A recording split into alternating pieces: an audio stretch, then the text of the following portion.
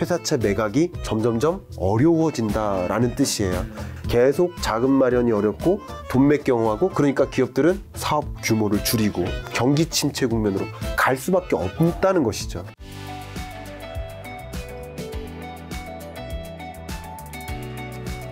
자, 세 번째는 이제 자본 경색, 돈맥 경화를 진단하는 좀 시간을 가져볼까 하는데 최근에 이제 Great Recession 2023년 이제 경제 전망에서 강조하는 경기 침체는 근본적으로 좀 어떻게 찾아오는 걸까요? 네. 여러분이 네. 도대체 경기 침체가 왜 오는 거냐, 네. 그 경기 침체를 어떻게 하면 확인할 수 있느냐, 음. 이 질문을 좀 많이 하세요.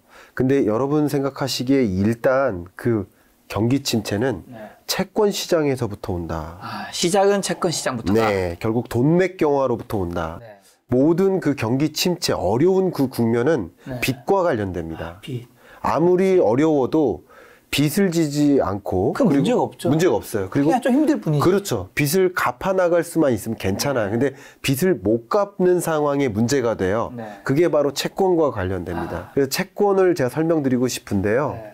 채권이라 함은 네. 기업들이 자금을 마련하는 방법이에요. 네. 기업의 자금 구조가 이 타인 자본과 자기 자본으로 구성이 되겠죠. 이 두 가지 이렇게 대차대조표 이렇게 쓰여져 있습니다. 자기 자본이 뭘까요? 시가총액이에요. 네. 주, 주식의 주식. 음. 결국 주식을 들고 있으면 어 이건 우리 기업이다. 내가 주인이다라고 표현하는 이유가 그게 자기 자본이기 때문에 그래요. 그만큼이. 근데 그 다음이 뭡니까? 채권이에요. 채권. 네. 채권이나 혹은 은행의 대출. 이걸 합해서 타인 자본이라고 볼 수 있을 것 같아요. 네. 근데 결국 기업들이 자금을 마련하기 위해서 채권을 발행합니다. 이 채권 사줄 뿐 네. 내가 언제 갚을 거야라는 증서죠. 대신 금리를 내가 5% 6% 해주겠다. 음. 그러면 이러면서 자금을 마련하기 위한 수단, 돈을 빌리기 위한 수단으로 채권을 발행하는 겁니다. 음. 근데 이 채권 금리 한번 보십시오. 우리나라의 국내 시장 금리 추이입니다. 회사채 금리가 지금 이렇게 6%에 근접하게 치솟고 있어요. 이 얘기는 다른 말로 뭐냐면 아무리 높은 금리로 채권을 발행해도 투자자가 나타나지 않는다. 음. 이 채권을 매입해 줄 사람이 없다. 라는 것을 보여주는 대목이에요. 네. 그만큼 자금 마련이 어렵다. 라는 것을 보여주고 그럼 자금 마련이 어려우면 뭐를 선택할까요? 은행에 가서 빌려요. 근데 은행에 가서 빌리는데 은행에서 빌리는 그 돈의 그 대출 금리가 네. 계속 치솟죠. 높죠. 너무 높아요. 너무 높아. 그러니까 선택을 합니다. 뭐냐면 채권을 발행해서 6%의 채권을 발행해도 매각이 안 이루어져. 음. 그리고 은행에 대출을 해도 뭐 한 5% 이상의 대출 금리를 지불해야 돼. 라고 판단한다면 한번 생각해 보세요. 반도체 산업에서 예를 들어 좀 비교할 만한 게 차량용 반도체 산업. 이 차량용 반도체 산업의 수익률이 네. 10%가 안 돼요. 그러면 쉽게 말해서 대출 금리가 10%다. 그러면 이 수익률 10%의 수익률을 벌기 위해서 네. 이거 하겠습니까? 안 하겠죠. 네. 그러니까 그게 비교 대상인 거예요. 그렇기 때문에 금리가 높아지면 10%가 안 되는 혹은 채권 금리가 6%다. 그럼 6%도 안 되는 수익률이 나오는 사업 어떻게 될까요? 안 하려고 하겠죠. 정리되는 거예요, 정리. 네. 그것을 뭐라고 합니까? 사업 재편. 구조조정이라고 하는 거예요. 그럼 대기업들이 여러 사업군을 놓고 보고 지금 당장 수익성이 괜찮은 사업은 놔두겠지만 6% 5%도 안 되는 그런 수익성이 낮은 산업은 지금은 물론 수익성을 기대할 필요 없지만 장기적인 안목을 두고 좀 투자를 많이 하는 산업인 거예요. 네. 그런 사업 같은 게 어떻게 할까요? 정리를 해요. 그렇죠. 그럼 이런 사업을 정리하는 과정에서 생각해 보세요. 대기업이 이런 사업을 정리한다. 그러면 그러면 딸려 있는 여러 네. 작은 중소기업들. 중소기업들은 이 사업이 유일한 매출처인 거예요. 공급업자 입장에서는. 그렇죠, 그렇죠. 저도 이제 예를 들면 여러분 비교하기 쉽게 말씀드린다면 삼성전자가 있습니다. 네. 그럼 1차 벤더사들이 있어요. 네. 1차 벤더사들의 모임이 있습니다. 저도 그런 자리에 종종 가는데 그걸 협성회라고 해요. 어. 이 협성회를 구성하는 1차 벤더사들이 말 그대로 초대기업들이에요. 그렇죠. 1차 vendor니까. 1차 vendor들. 그럼 1차 vendor가 있다는 얘기는 2차 vendor가 있다는 얘기죠. 그 밑에 또 3차도 있겠죠. 3차도 있고요. 그렇게 내려가면 소상공인까지 가는 네. 거예요. 그러면 이런 수많은 기업들이 이 특정 사업군을 조정하면 이 1차 vendor 하나가 날아가는 거예요. 대기업이. 음. 그럼 그 대기업이 날아가면 그 대기업에 공급하는 공급업체들 이게 다 value chain인 거예요. 다 이어지게 약간 도미노처럼. 그럼요. 근데 또 여기서 끝나는 게 아니라 사업 재편, 구조 조정이 있다는 얘기는 일자리가 없어지는 거예요. 그럼 일자리가 없어지면 그 기업 제가 삼성전자 이 화성에 지지난주에 갔었는데 그러면 이 화성에 그 삼성전자 반도체 사업부 있는 그 동네에 가면 그거밖에 없어요. 정말 횡합니다. 시골 동네예요. 네. 근데 그 동네에 있는 식당이나 편의점이나 여러 자영업체들 네. 뭘 위해 존재할까요? 다 거기. 그 직원들이에요. 네. 그럼 직원들의 씀씀이가 달라지고 직원 규모가 줄어들면 네. 자영업자들까지 힘들어요. 이렇게 지역 경제도 어려워집니다. 제가 여러분이 충분히 실감나게 실물 경제의 흐름을 설명드리기 위해서 아, 너무 와닿는데. 와닿게 말씀드리려고 이렇게 하는 건데 정말 이런 사업 재편이 이루어지는 것이 네. 전반적인 일이 될 수 있어요. 그게 결국 고용 침체로 연결됩니다. 아. 그래서 제가 지난번에 출연했을 때부터 뭐라 했냐면 아직 침체 안 왔다. 썸네일 쓰셔도 됩니다. 네네. 아직 침체 안 왔다 이거예요. 지금은 둔화예요. 둔화라는 것은 우리 사이클 제가 그림도 그려드렸죠. 사이클 상에서 플러스 정점에서 제로까지 떨어지는 구간이 둔화예요. 네. 근데 침체는 이 마이너스 밑으로 떨어지는 게 침체입니다. 네. 여기서부터 여기까지 밑에까지가 하강 국면이지만 아직 플러스에 맴도는 구간이에요. 22년까지는. 근데 이런 침체라는 것은 앞에 제가 고용이라는 것은 경기 후행적 변수라고 설명드린 적이 있었어요. 그런 것처럼 이런 경로에서 결국 채권 시장이 무너지는 과정에서 경색되고 얼어붙는 과정에서 자금난이 오고 이걸 이 전통적인 언론에서는 돈맥경화라고 하죠. 돈이 안 흐르는 거예요. 피가 안 흐르듯이.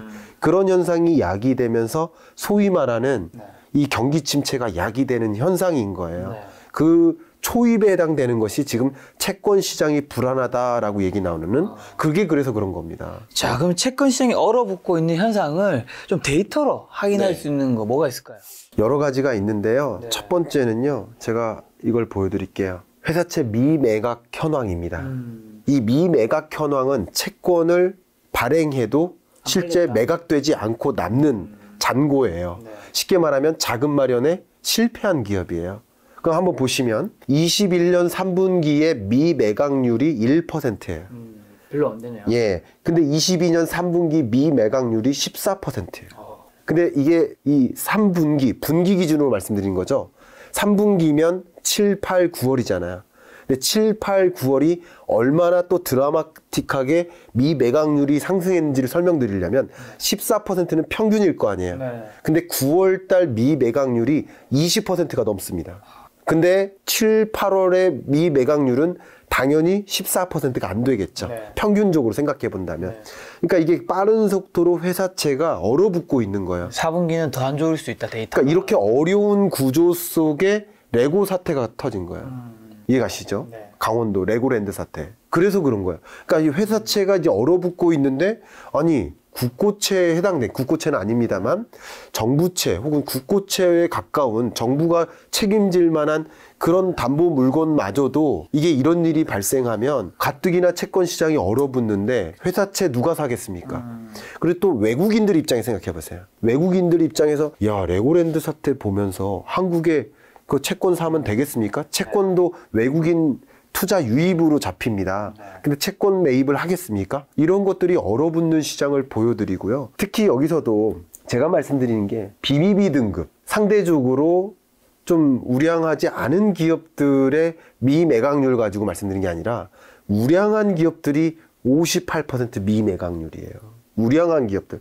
A등급이 나름. 그러니까 이런 것들이 지금 굉장히 위험한 그런 시- 신호다. 이 말씀 드리고요. 더 중요한 것은 왜 경기 침체가 그러면 그게 하필이면 23년이냐. 네. 결국 만기가 도래하잖아요. 네. 자, 회사채를 발행했어요. 네. 그럼 3년 후에 만기 갚을게요. 상환할게요. 하면서 회사채를 발행하는 거예요. 근데 만기가 도래하는데 쓰나미처럼 도래합니다. 근데 회사채 만기가 도래했을 때 기업들은 만기 됐을 때 회사채를 다 갚는 건 아니에요. 왜냐하면 우리 뭐 개인들이야 여력이 있으면 빚을 갚는 거지만 계속 기업의 그 타인 자본에 대한 의존도가 있는 거예요. 자기 자본만 가지고 사업하는 경우는 거의 없어요. 그러니까 타인 자본 규모는 원래 있어요. 그러니까 회사채 만기가 도래되면 회사채를 새롭게 발행해서 그 만기를 상환하는 거예요. 예, 상환하고. 상환하는 방식이에요. 그러니까 돌려막기라 나쁘게 표현하면 돌려막기는 아닙니다. 기업들의 입장에선 이것을 차환이라고 합니다. 차환. 차환 거래를 통해서 회사채 만기 문제를 해소하는 거예요. 네. 근데 앞에 말씀드렸듯이 높은 금리로 회사채를 발행해도 누가 안 사가요. 그럼 만기가 도래했을 때 지금 앞으로 남은 올해 연말 만기와 내년 상반기입니다. 제가 23년 전체도 아닙니다.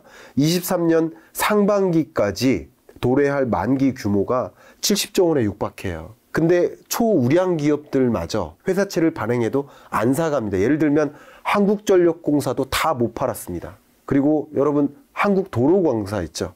전액 못 팔았어요. 과천 도시공사 이런 공공채 성격의 채권들도 네. 매각이 다 이루어지지 않았습니다.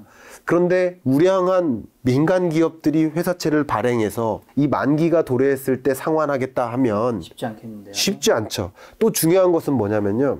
회사채 발행을 꺼려요. 왜 그러냐면 회사채를 발행했는데 미매각이 발생했어요. 네. 그럼 그 기업에 대한 평가가 어떨까요? 안 좋겠죠. 투자자들 입장에서. 안 좋겠죠. 투자자들이 안 좋으니까 주식시장에서도 떠나요. 그럼 주가도 또 떨어져요. 네. 이런 것들을 우려하기 때문에 아예 발행조차 안 하는 거예요, 선택이. 그럼 무슨 선택을 하는 겁니까? 사업 규모를 줄이자예요. 오로지 할 수 있는 선택이 네. 만기는 변제해야 되고 자산을 매각해야 되고 이런 결정이 나오는 거예요. 이런 것들이 굉장히 심각한 상황인 거고요. 그런 관점에서 제가 또 한 가지 강조해야 되는 게 앞에 계속 강조하지만 이 회사채와 국고채의 흐름입니다. 근데 국고채에 투자를 하고 싶지 이렇게 높아진 불안한 시장에서 회사채에 투자하고 싶지 않아요.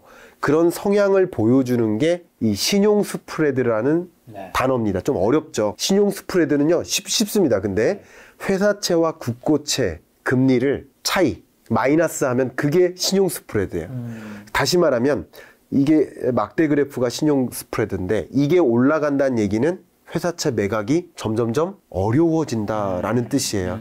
그러니까 다시 말하면 기업들 입장에서 자금 구하기가 어렵다.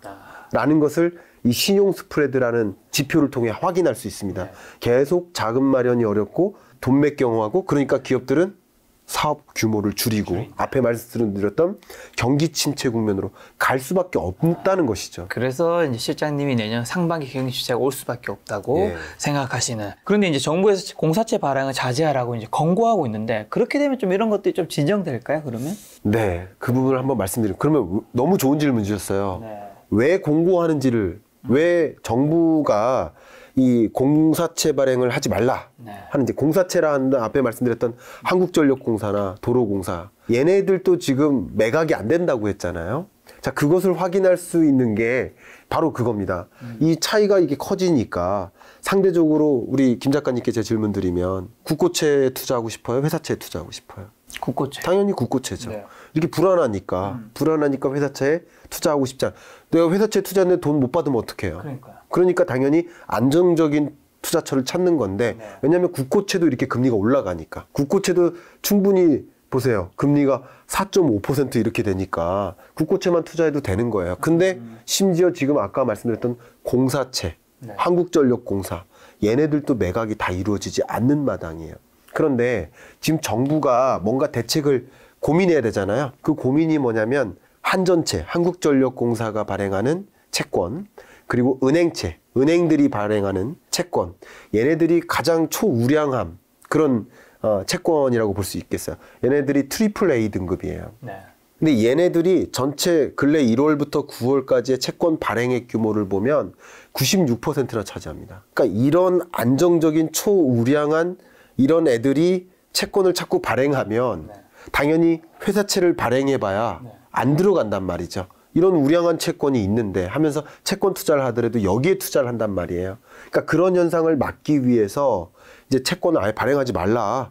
그걸 권고하는 거예요. 하나의 대안으로서 얘기하는 거야. 그러나 이것이 일시적인 어떤 해소책은 될 수 있지만 네. 말 그대로 전반적으로 기준금리 올라가고 전반적인 시장금리 이게 시장금리인 거예요. 회사채와 국고채가 이런 것들이 시장금리가 이렇게 올라가는 과정에서는 어쨌든 자금 경색 문제, 돈맥 경화 이거 자체를 피할 수는 없는 거예요. 네. 물론 밴디지 효과, 뭐 일시적으로 뭐 보완책은 될 수 있지만 네. 이렇게 어렵게 채권 시장이 얼어붙고 있는 이런 시장 자체를 급반전시킬 수는 없는 것이다. 그건 어려운 일이다. 이걸 설명드리고 싶은 거예요. 자금 채권 시장 진정되지 않으면 좀 어떤 일이 발생할까요? 네, 물론 진정시키기 위해서 방금 말씀하셨던 네, 것처럼. 밴디지 효과라도 누리기 위해서라도 해야 될 건 다 해야 됩니다. 근데 이런 국면에서 걱정되는 게 네. 바로 국가 신용도입니다. 네. 우리나라의 채권 금리가 이렇게 치솟고 국가 신용도 그 위험 수준을 보여주는 게 유명한 지표죠. CDS 프리미엄. 이 CDS 프리미엄이 여기 보시는 것처럼 75bp를 넘어섰어요. 네. 이게 6년 9개월 만인가 그런 거의 7년 만에 가장 높은 수치를 치솟습니다. 이게 올라간다는 얘기는 국제금융시장에서 이 대외 신인도를 보여주는 지표니까 대외 신인도가 떨어진다. 지표가 높을수록 채권을 발행한 이런 국가나 그 나라에서 그 기관이 이렇게 채권을 발행했을 경우 어, 신용 위험이 커진다. 못 갚을 수도 있다.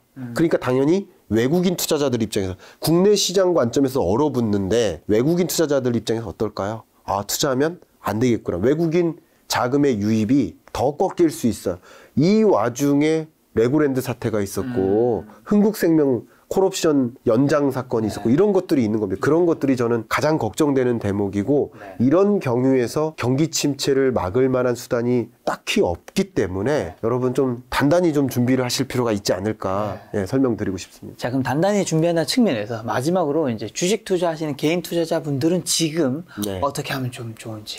네, 제가 강조하고 싶은 것은 우리 김 작가 TV에서 네. 여러 종목에 대해서 이야기하는 컨텐츠들이 분명히 있을 겁니다. 예, 그러니까 지금부터는 네. 제가 늘상 말씀드렸던 저점을 통과하는 구간. 네. 왜냐하면 2020년은 솔직히 제가 저는 어떤 생각을 하냐면 종목에 무관한 장세인 거예요. 네. 어떤 종목을 사도 웬만하면 여러분 벌 수 있는 장세 2020년, 네. 21년 중반까지는 그리고 22년은 어떤 종목을 사도 다 떨어지는 구간인 거예요. 그래서 주식하지 마셔라 라고 말씀드렸고 22년 끝자락 11월 10월 11월부터 23년까지는 이제는 실적 장세입니다. 아, 진짜 참. 그래서 종목을 가지고 얘기할 때 그 드림을 얘기하거나 희망, 기대를 얘기하는 그런 종목 말고 네. 계속 실적이 발표될 때, 어, 괜찮네. 음. 실적이 나쁘, 왜냐면 전반적으로 기업들이 실적이 어두울 거기 때문에 네. 그래서 저점을 통과해서 주가가 반등하는 이런 구간에는 정말 실적이 뒷받침될 만한 종목을 좀 잘 선정하셔서 네. 옥석을 가리는 그런 투자 의사 결정이 필요하겠다. 그런 게 좀 너무 두렵다 그러면 뭐 코스피 200과 같은 ETF 투자도 나쁘어 보이진 않는다. 네. 이게 드라마틱한 반등은 아니지만 어쨌든 저점을 통과하는 구간인 것은 어, 우리가 그림 그릴 수 있기 때문에 그렇게 의사 결정하는 것도 좋겠다 생각합니다. 여기서 우리가 오늘 영상에서 오해하면 안 되는 게 내년 상반기 경기 침체가 이제 올 수밖에 없고 피할 수 없다고 했지만 네. 그게 주식 시장이 여기서 지금 더 떨어진다를 의미한다라는 건 어, 다른 얘기라는 거죠. 그거 아닙니다. 그렇죠. 많은 분들이 이거 또 같은 걸로 생각하시면 제가. 그곳을 한번 겪은 적이 있어요. 네네. 제가 2020년에 코로나19 충격 왔을 때 네. double dip 시나리오라는 책을 냈었어요. 아, 맞습니다. 근데 경기 침체가 온다. 네. 2020년 2분기에 네. 충격이 왔다가 다시 돌아간다. 이게 double dip이거든요. 근데 그걸 오해하시더라고요. 네. 주가라고. 이 실물 경제 침체하고 주가는 달리 움직입니다. 음. 주가는 오히려 금리와 비교하면서 생각하셔야 되고 음. 이 주가의 상승 속도 이게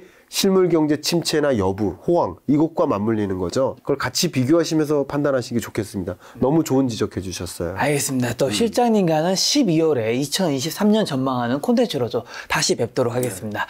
오늘 만난 손님은 김광석 실장님이었습니다. 지금까지 여러분 소중한 시간을 함께 해 주셔서 정말 감사합니다. 오늘도 김 작가였습니다. 고생 많으셨습니다. 감사합니다.